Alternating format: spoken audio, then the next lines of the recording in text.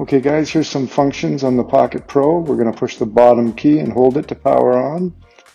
And the backlight will come on.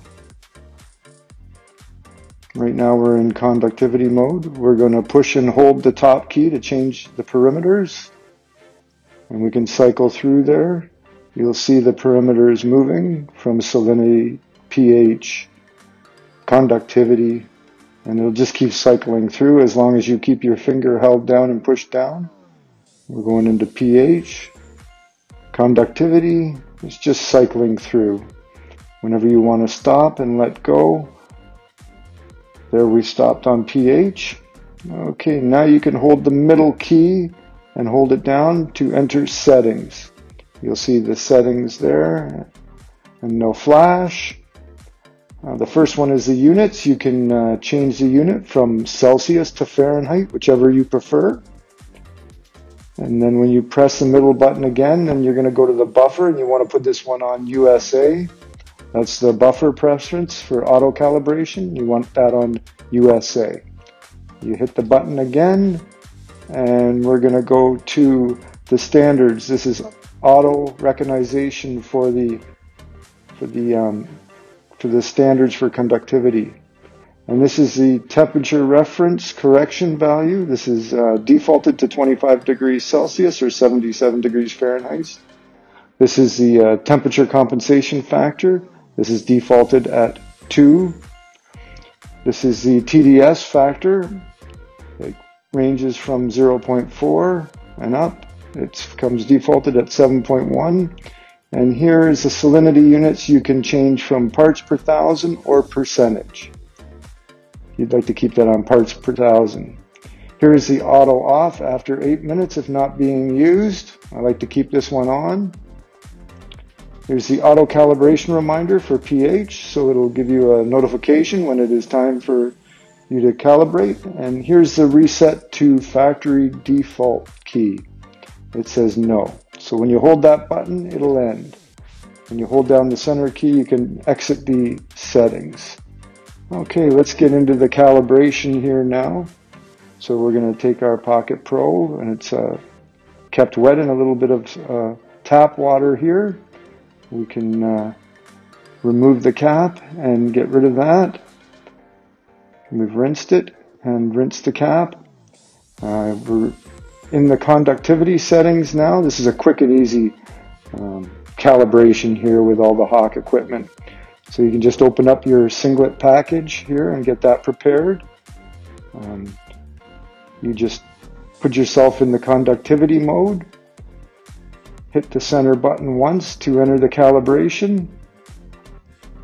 Now we can take the cap off the unit and we can take the conductivity solution and fill just to the uh, fill line there, just to the bottom of that fill line. There you go. All right, now take the Hach Pocket Pro and put it in the conductivity solution. It's going to auto recognize to 1413 and when this uh, settles out, okay, there we've settled out. Now we can hit the button. You'll see it flash three times. There we go, and uh, it's ended, and we've got that calibrated. Now we're going to switch over to the uh, pH solution. So we can rinse and always rinse the cap and, and uh, get that all cleaned up. So now we're going to cycle over from conductivity to pH. So you're going to have to hold on that top button till it moves over. TDS. And then we're going to move one more to, there we're in salinity, one more, there you go, we're in pH. All right. Like I said, you got to rinse and clean the cap between calibrations from your from your uh, buffers. So we're going to take the cap off and we'll get our pH 7 buffer and we'll open that up. Okay. Now we're going to take our cap and we're going to fill again to that bottom fill line with the pH 7 buffer solution. Uh, like I said with this Hach unit, it's a quick and easy calibration. There we've settled out. It's flashing three times. Now you'll see the 10 and the 4 flashing at the bottom. That's just letting you know that you can calibrate um, with the 10.0 calibration buffer fluid or the 4.0. But we're just doing the 7.0 right now. That's good enough for what we're doing. So there we go, we're calibrated. And you can see it reading 6.9, 6.99. Okay, here we have uh, our water sample that we're testing from the pool. And it's coming in at a 7.8 pH and 69.1 degree Fahrenheit. There we switched over to the conductivity. We have a conductivity of 4.25 microsiemens.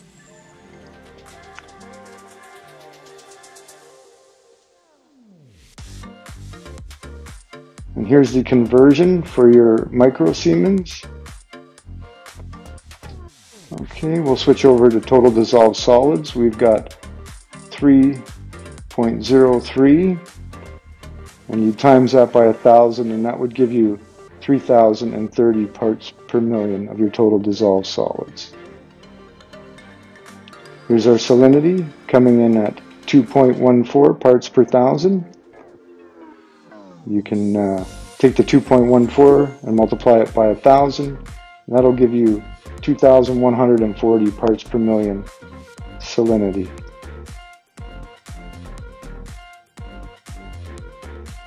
That's how easy that is.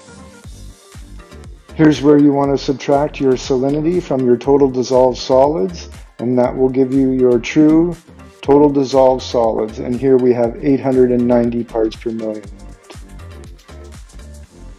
It's always a good idea to take a reading of your fill water and get the total dissolved solids, and that'll give you a ballpark of where you're starting at with your fill water with total dissolved solids.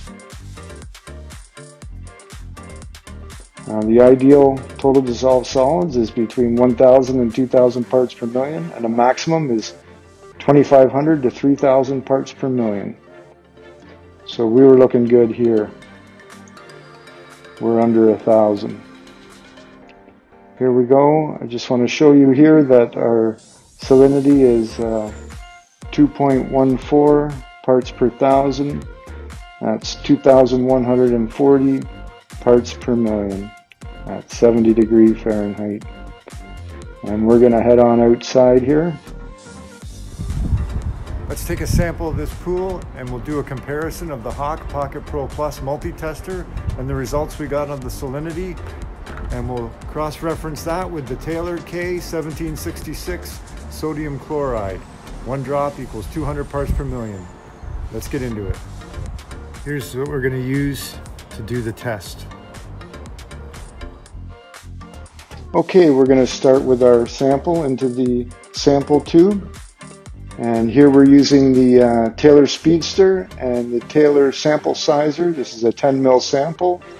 And uh, this gives us an exact and accurate sample size every time. It's a 10 and 25 mil.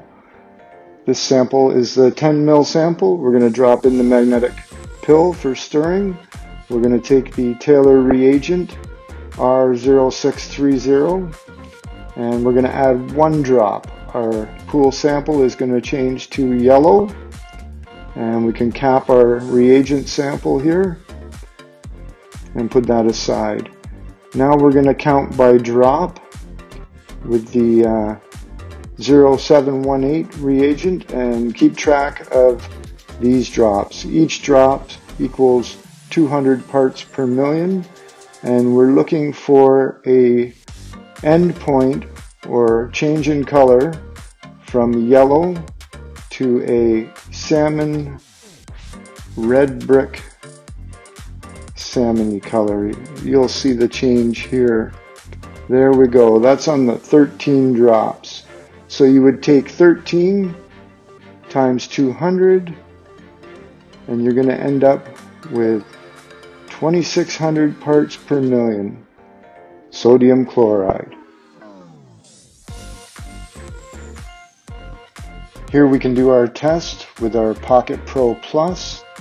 Take the cap off That was sample water already, so it's uh, already been rinsed and cleaned, and this cap is ready to go. So here we'll add our sample up to just below the fill line. We can take that and put our Pocket Pro in here and power it on. 2.13 parts per thousand.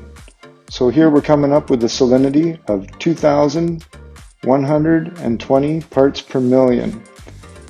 With our Taylor test kit, we ended up with 2,600 parts per million.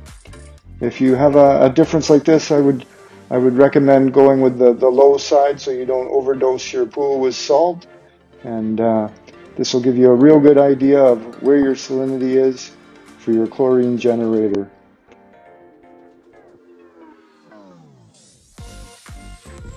Okay, that's the comparison between the Hach Pocket Pro Plus Multi-Tester 2 for salinity and the Taylor K1766 one drop equals 200 parts per million salinity, sodium chloride. Okay, that's it for this video on the Hach Pocket Pro Plus multi-tester. I hope you enjoyed the uh, calibration video and got some information out of that. Uh, don't forget to like, share, and subscribe, and hit that bell for notifications. Make sure to keep an eye out on my channel for upcoming videos like this one on water chemistry and testing procedures. Hope you enjoyed this video. Take care and see you soon.